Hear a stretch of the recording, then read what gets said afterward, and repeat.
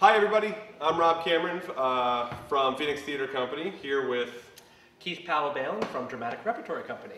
and uh, we're here to tell you a little bit about our new project, our, our joint collaboration of uh, Bright New Boise, Boise, uh, is actually how you say it in Idaho. We learned from this process, uh, by Samuel D. Hunter.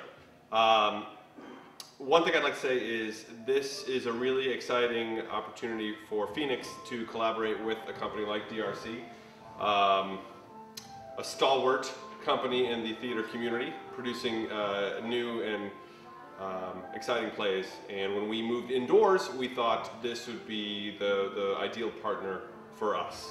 Um, so I wanted to throw that out there to you and to you, the viewing audience. Um, right now, we are in the Portland Ballet uh, Studios. The theater is behind us uh, that we're going to be performing the show in. Uh, we have a run coming up in about three minutes, so I'm going to make it short. But uh, I'm going to I'm going to pass the ball over to Keith so he can tell you a little bit more about the play itself.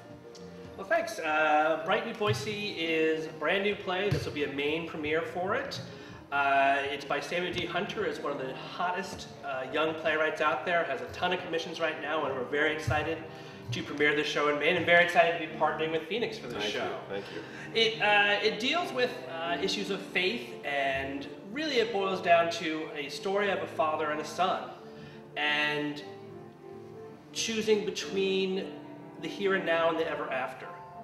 And so there's a lot of good humor, but there's also a lot of good pathos, and it is a fulfilling and full evening of theater, and we would encourage you to come out and see it.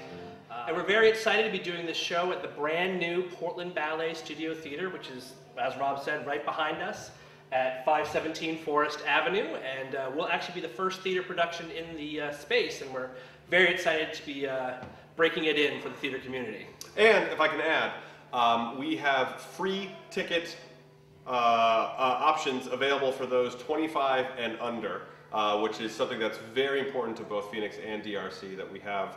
We're making theater accessible to a younger population. Right, and the next generation of theater goers has to be grown, and we have to be a part of making theater going a habit.